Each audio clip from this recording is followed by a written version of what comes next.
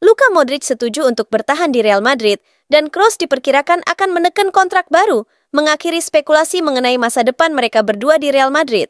Dua pemain paling ikonik Real Madrid dalam satu dekade terakhir itu kini dikabarkan bertahan di Real Madrid selama satu musim lagi. Dengan beberapa syarat dan pengorbanan yang Luka Modric dan Toni Kroos, sebelum kita lanjut, jangan lupa untuk like video ini jika kalian suka konten seperti ini. Terima kasih. Modric dan Kroos sama-sama habis kontraknya musim panas ini, tetapi akan tetap menjadi bagian dari skuad Carlo Ancelotti.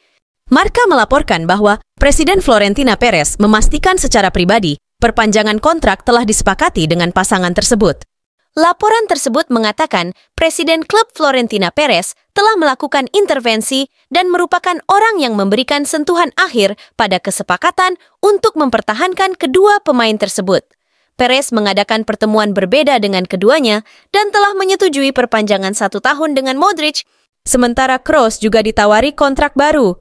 Pengorbanan Luka Modric untuk setahun lagi bersama Real Madrid Fabrizio Romano melaporkan bahwa Luka Modric siap berkorban untuk bertahan di Real Madrid.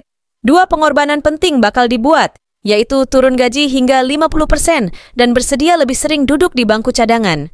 Meski menit bermain mereka dibatasi musim ini, Modric dan Kroos membawa tingkat pengalaman dan kepemimpinan yang tak tergantikan bagi Real Madrid.